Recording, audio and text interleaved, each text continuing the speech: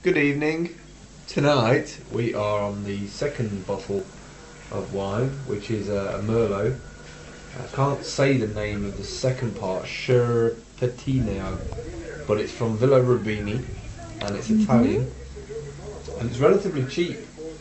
Um, you probably pay about three ninety nine, four ninety nine, five pound for a bottle of wine in the stores and this is around the four pound mark direct from the importers and distributors, which is a place that I freelance at. So going to open this up and see what it's like. It's a red, obviously, because it's a Merlot. And that's the cat behind the bottle, if you wonder. Yeah, I'm not uh, got anything going on with the cat per se. Smells nice.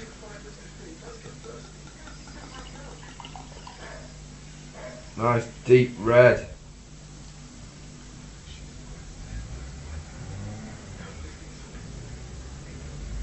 Mmm, dead fruity.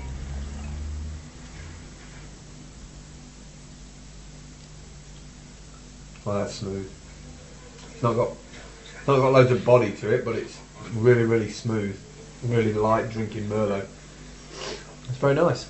Probably Probably regular drinking Merlot, probably a six. Probably a six. Lovely.